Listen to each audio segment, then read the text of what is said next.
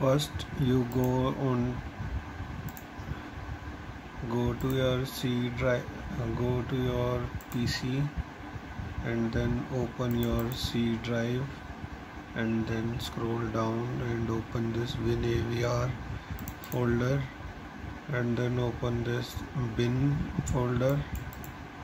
Then you have this avrdude.config file you first make a backup by copying it over here and then you right click and then edit with notepad plus or open with your open it in uh, notepad.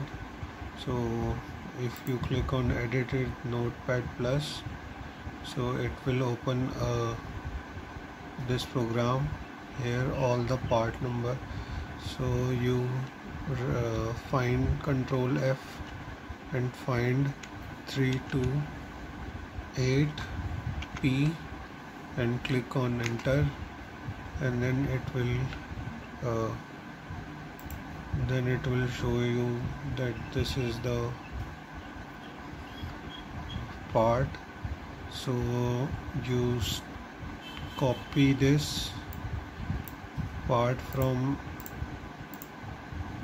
here. Okay. So you slowly copy this part. Okay.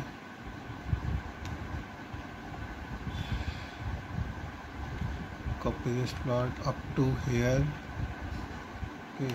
And then you copy this part and you open another folder uh, pay notepad and you paste it over here and then you change the id to pb and then your description to pb pb and then everything remains as it is. And then in the signature you will have to change uh, so I made a copy. So in the signature you will change the 1e16 so so 0f will be changed to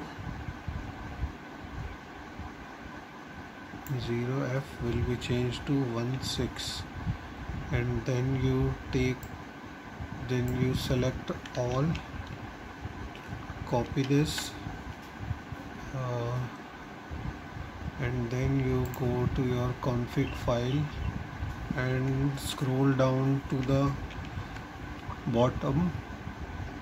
And then at the bottom you right click and paste it.